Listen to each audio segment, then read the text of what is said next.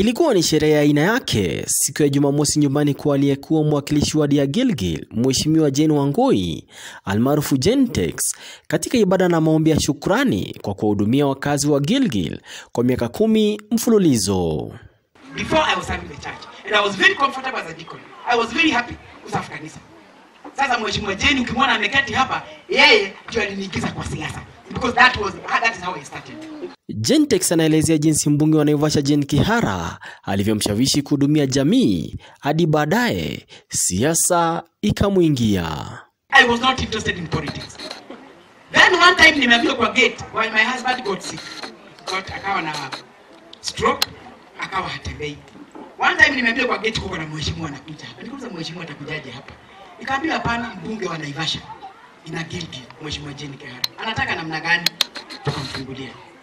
Imagine mimi mwenyewe si mwanasiasa anayempia unajua those days sasa sasa hivi wachamaza, unajua hapa kwa kwa hata unaingia na tunakula githeri those days kusikia mbunge anakuja ilikuwa kitu akaingia sasa nikashindwa nataka kuniambia namna gani nikuta mzee wangu hapo pale akasema ameingia ingia mpaka makanisa anataka kunominate kuninominate niwe niwe nominated council nikamuta hiyo ni kuni kuweka ate. Nikike siasa. Akaniambia hapana utakuwa tunafanya vipi kile nilikuwa nenda pale ka ofisi za county council. Ngemwambia asha hapana hapo hapo mheshimiwa asante kwa kunifikia lakini angalia huyu mzee. Atembei lazima nimshikilie. Huyu mzee lazima mimi nimbebe sasa siwezi enda kwa siasa. Na kuomba mheshimiwa Jane I know you are disappointed. Lakini venye aka understand. Na akaondoka na akaenda. Na hiyo ikaisha after one year wameanza CDF. imagine mtu amekuja na nimekataa kui amerudi tena for the second time kwa nyumba. Nimesema leo nitakumbuka katika history kidogo. Sasa nikauliza sasa hiyo mzee alikuwa amepona hata anatembea na miti. He was now okay. Sasa nikashindwa tena ni kiti ingine tena. So mheshimiwa Jane akakuja akaniambia this time nimerudi. Sasa sio siasa but sasa akanielezea mambo ya CDF na I want you to represent Gilgil people kabla sijaongea sasa mzee alikuwa mpaka ameanza kuongea akasema we ndagukania ũguo mũtumia ũcio arakwĩra wĩtĩkĩre tondu akwira ũrĩthia naivasha maita mere mimi tayari nimeshaambiwa niko na shida ya mwili sijui mungu atanipa masiku mangapi lakini uwezi kumlet down na amekuja kwa mara ya pili. Mimi hata sijui ni wewe unaenda kufanya nini lakini nimekukubalia. Kwa sababu mimi natembea naweza kujipeleka kubali. Mheshimiwa siku wapi na yeye nilimwambia I'll come so the following day nikaenda on Monday nikaenda tukaingia katika CDF na tukaanza kazi. Na hapo ndio mwito sasa ilianza ya kuserve people. Before I was serving the church. And I was very comfortable as a deacon. I was very happy kusafu kanisa. Sasa mheshimiwa Jane ukimwona ameketi hapa yeye ndio aliniingiza kwa siasa. Because that was that is how I started Akiendelea kuwashukuru watu wa Gilgil kwa kushirikiana vizuri katika kazi mbalimbali za jamii mpaka kupelekea kuzaliwa kwa eneo bunge la Gilgil kutoka Naivasha na pia manispaa ya Gilgil. Gentex anaahidi kufanya kazi pamoja na viongozi wote waliochaguliwa. na wacha niwaambie ukishaanza siasa ni tamu sana so kuondokea si rahisi ama namna gani so msikia kuna mahali nimeenda mimi mimi bado niko hapa yenye nimefanya lazima mimi nimekubali matokeo nimekubali nini matokeo na nimekubali ya kwamba walichaguliwa kuanzia president ruto susan kiheka akiwa na, na kuru mheshimiwa Martha akiwa gilgil mheshimiwa rose ndio mca hao ndio viongozi wetu kwa sasa. Sawa sawa? Kwa sababu wamechaguliwa na mimi nimekubali. Tuwapatie nafasi wafanye nini? So kwa sababu ni huduma.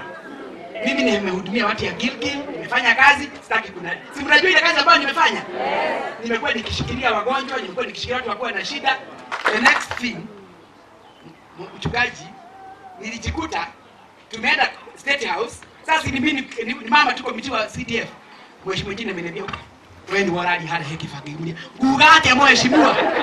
Tugate heki by president. Akija ah sasa kujua sema nini? Wewe ndio utaongea. Because inasemekana kuongea mzee mmoja na mama moja. Ametoa mzee na Ivasha, mimi nimeweka niaba. Do you know God gave me wisdom. Niliposimama Kibaki unajua alikuwa anakana na YouTube.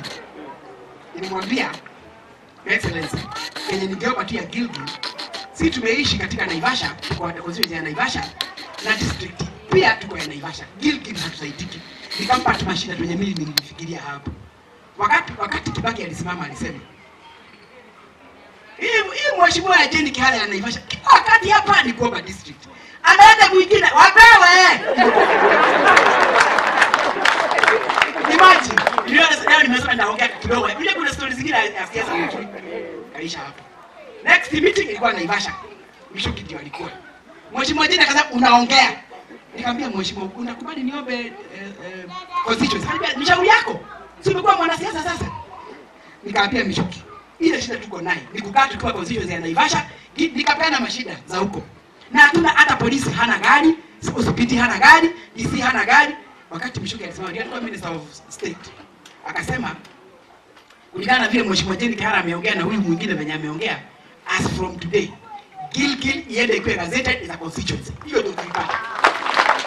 Akaita ofisa wake akamwambia kesho kwenda na drova moja ya polisi Gilgil na ingine ya DC.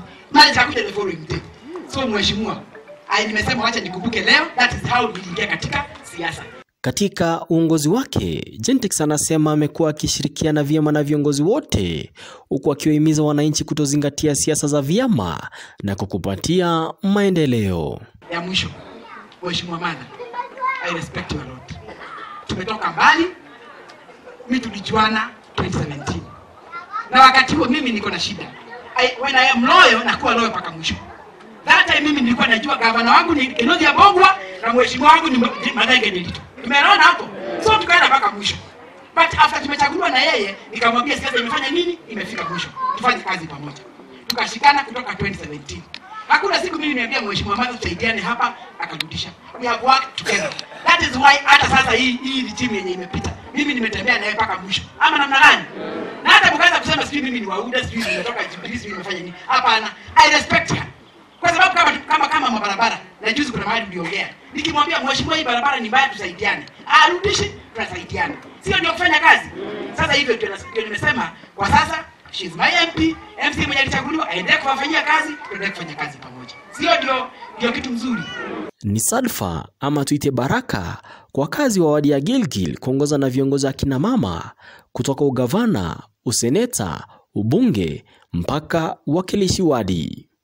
Manoti TV kutoka Gilgil, kaunti ya Nakuru. Jina langu ni Abel Makori.